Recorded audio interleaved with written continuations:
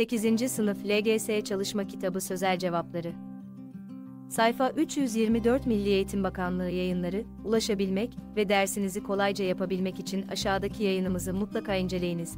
8. Sınıf LGS Çalışma Kitabı Sözel Cevapları Sayfa 324 Read the conversation about the lunch menu and answer the question. 17.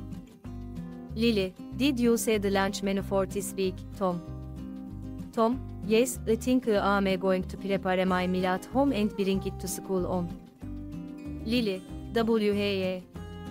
Tom, I really love meat, but this week I vegetables. Which of the following completes the conversation above? A. Monday and Tuesday. B. Tuesday and Thursday. C. Wednesday and Friday. D. Thursday and Friday. Cevap C. Read the text and answer the question. 18. Alice wants to take her family to a restaurant for dinner. SHE wants to find a quiet and cheap place. Now SHE is searching on the internet and reading other people's comments about some of the restaurants in her town. According to the information above, which of the following restaurants should Alice choose?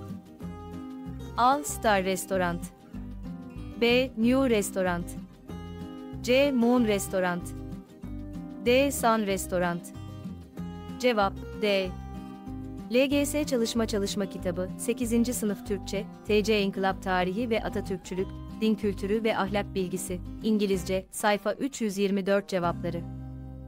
Milli Eğitim Bakanlığı yayınları ile ilgili aşağıda bulunan emojileri kullanarak duygularınızı belirtebilir, aynı zamanda sosyal medyada paylaşarak bizlere katkıda bulunabilirsiniz.